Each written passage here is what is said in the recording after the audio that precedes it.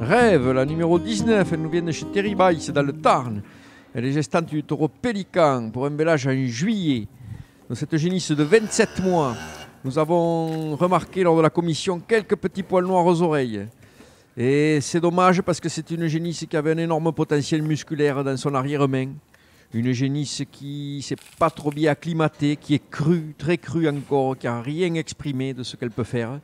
Donc euh, je vous disais, une arrière-main très musclée qui va vraiment euh, s'étoffer en prenant du soin, en prenant l'herbe. Donc elle est fille de mon idole. La petite anecdote, c'est que mon idole, euh, il est issu d'une porteuse d'embryon achetée à Ossac par Émir et Fanny Dole.